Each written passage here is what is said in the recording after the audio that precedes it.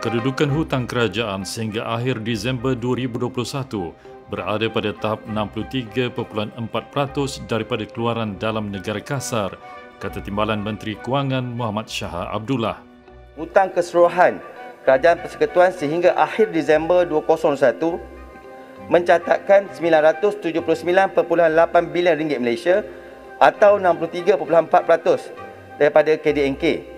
Manakala nisbah hutang statutory Kerajaan Persekutuan yang merangkumi instrumen MGS, MGII dan MITB mencatatkan 5.97% daripada KDNK.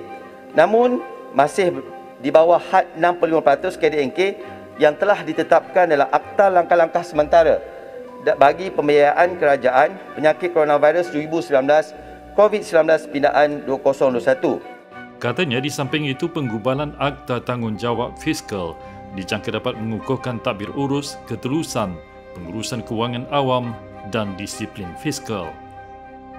Kerajaan juga yang berhormat sedang membangunkan strategi hasil jangka sederhana MTRS dengan melaksanakan semakan semula perbelanjaan awam Public Expenditure Review dengan izin bagi menambah baik asal, asas hasil bagi memastikan kecekapan perbelanjaan kerajaan.